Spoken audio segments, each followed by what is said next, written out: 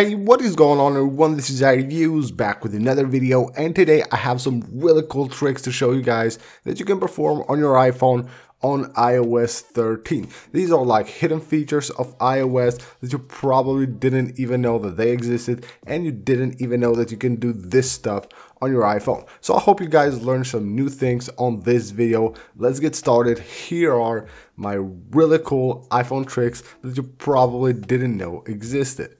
Starting off with the Spotlight search. So when you go to your Spotlight and you search for something, it will show you all kind of different results. It will show you like files that you have on your iPhone, emails, it will show you apps from the App Store, your apps, websites, and all that. Among them will also be Siri knowledge. Now that's pretty cool. So if you're just searching for something like, let's say here, I have searched for iPhone. If I tap right there, it will show me this interface right here and will show me the information that Siri knows about the iPhone. But what's cool about this is that it shows you all kind of details right here. And here you can see it says operating system. It shows also the country right here, the manufacturer, and you can actually tap on that. It will take you right back to another detailed page with more information about that, basically that section that you tap. So here we have Apple. If I tap right there, it will show me stuff for Apple.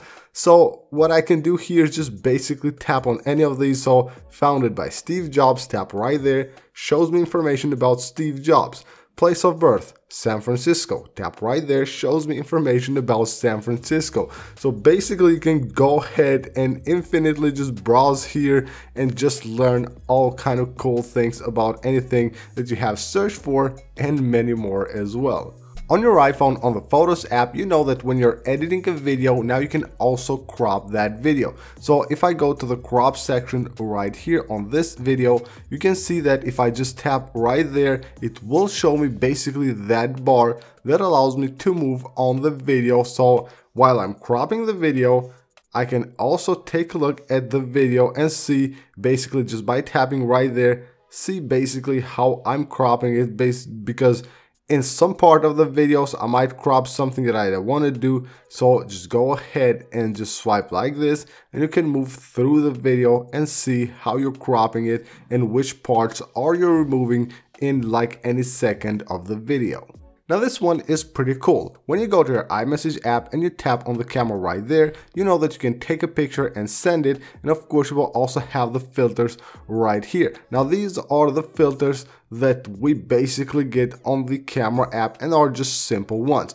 But if you tap right there on that like little flower icon, you will get another filter button and this one has actually some pretty cool filters. You can see these amazing filters that you can add to your pictures and that's really really awesome. These are like hidden filters that you can find only on the iMessage app so you can see all these awesome filters. Now of course you can take pictures with this even videos, all the stuff that, can, that you can do with the camera can be done with this as well. So basically it doesn't have like a save button right here, but if you just send this iMessage this to yourself, then it will automatically save it on the camera roll of your device, or you can just send it basically to any number you want and then just go ahead, force touch on it and save it right here.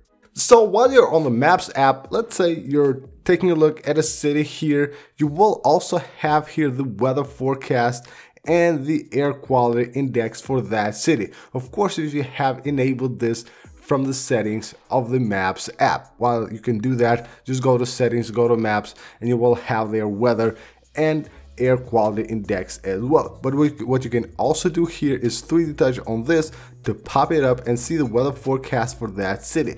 But what else you can do is just tap right there on the name of the city and you can quickly go ahead and add this to the weather app as easy as that. So while you're on the weather app, you of course have a bunch of cities here that you might have added. And what if you want to rearrange these? All you gotta do is just force touch on any of them and you can just move it anywhere you want on the list of the cities on the weather app.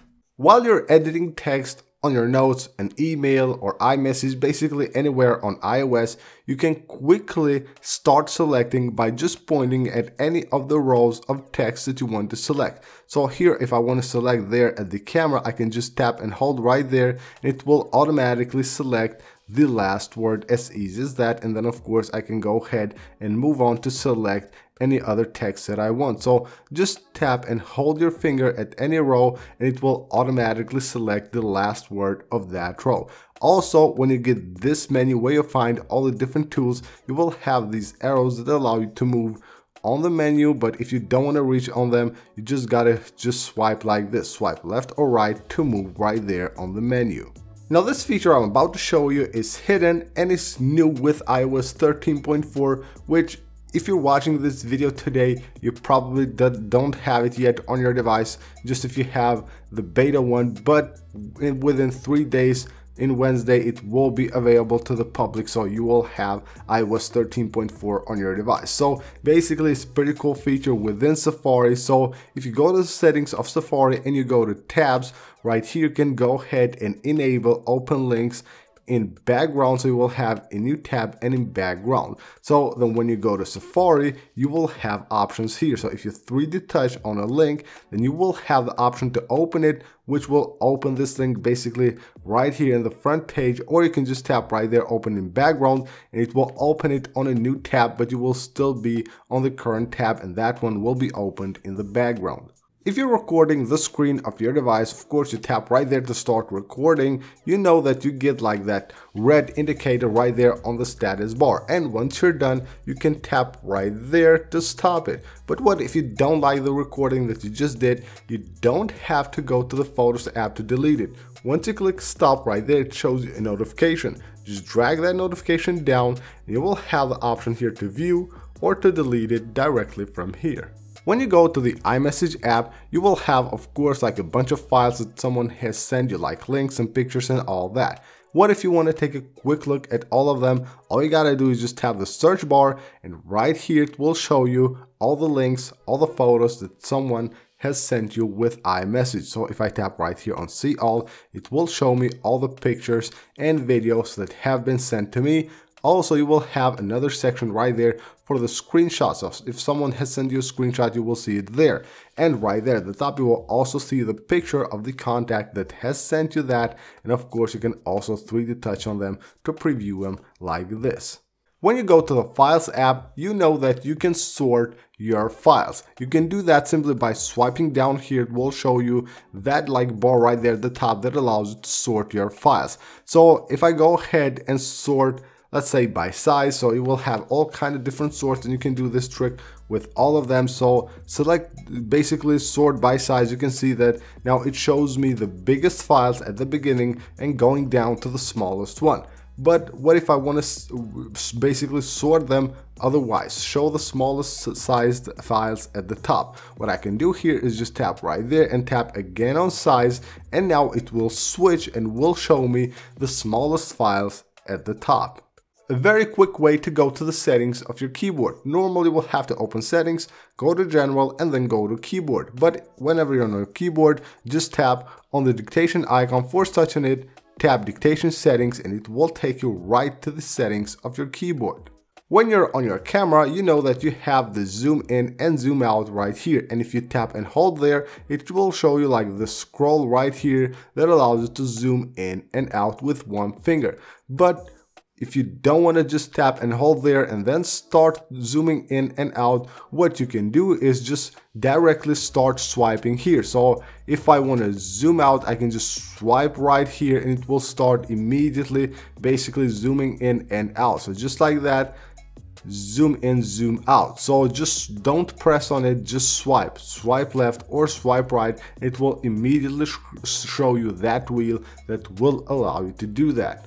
When you're on the photos of your iPhone, you know that you can basically do this on anything on your iPhone. You tap at the status bar to go right back to the top. But what if gonna want to go to the bottom of the album? Just tap on the albums right there and it will take you right back to the bottom. So as easy as that, tap right there and tap right here to go back to the bottom. While playing music on the music app, you can just tap on the name of the artist and you will get this menu right there that allows you to go to the artist or go to the album of the now playing of the, of the current playing song. So if I go to artist, it will show me everything from DMX here, or I can just tap go to the album and go to the album of the current playing song. While on the Maps app, you can use just one finger to zoom in and out. So what you can do is just double tap and then you, basically you can go ahead and zoom in and out. So double tap like that.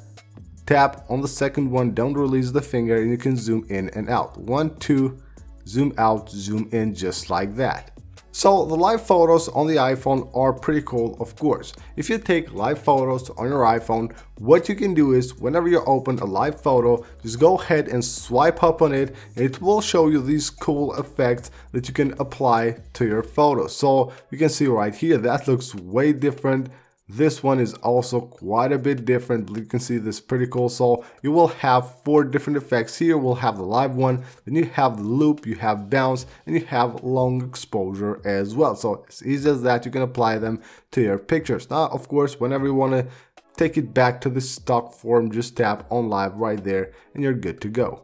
So that is it for this video guys. These are my iPhone tricks that you probably didn't know existed. A lot of them I found out just basically trying out stuff on my device. Hopefully you guys learned something new today. Hopefully you enjoyed the video. Don't forget to leave a like if you did. Also don't forget to subscribe for more videos. I'll see you on the next one.